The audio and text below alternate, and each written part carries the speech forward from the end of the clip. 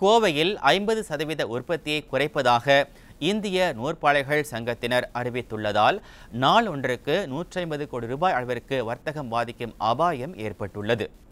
கோவை மாவட்டத்தில் ஏராளமான நூற்பாலைகள் செயல்பட்டு வரும் நிலையில் வட்டி விகித உயர்வு மின்கட்டண உயர்வு உள்ளிட்ட விடியா அரசின் நடவடிக்கைகளால் நூல் உற்பத்தி செலவு ஒரு கிலோவிற்கு ஆறு ரூபாய் வரை உயர்ந்துள்ளது. இதனால் சிறு நூற்பாலைகள் கடுமையாக பாதிக்கப்பட்டுள்ளன. இந்த நிலையில் ஐம்பது சதவீத உற்பத்தியை குறைக்க இந்திய நூற்பாலைகள் சங்கத்தினர் அறிவித்துள்ளனர். இதனால் நாளொன்றுக்கு நூற்றி ஐம்பது கோடி ரூபாய் அளவிற்கான வர்த்தகம் பாதிக்கப்படும் அபாயம் ஏற்பட்டுள்ளது.